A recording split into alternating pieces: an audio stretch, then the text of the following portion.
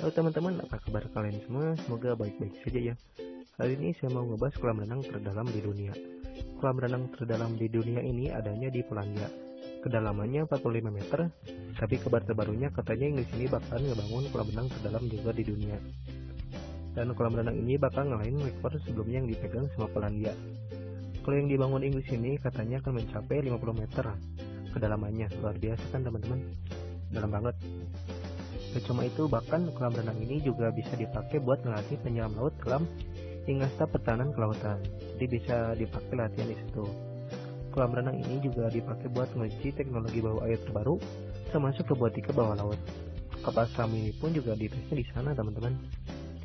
Luasnya kurang lebih kolam renang ini bisa menampung 42.000 meter kubik air atau setara 17 kolam renang olimpiade.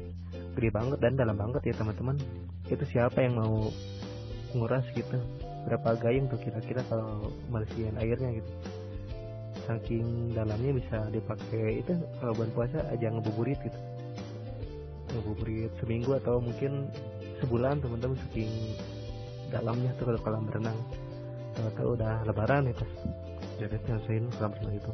Oke jadi itu dia info kolam renang dalam di dunia. Semoga bermanfaat. Sampai jumpa di next episode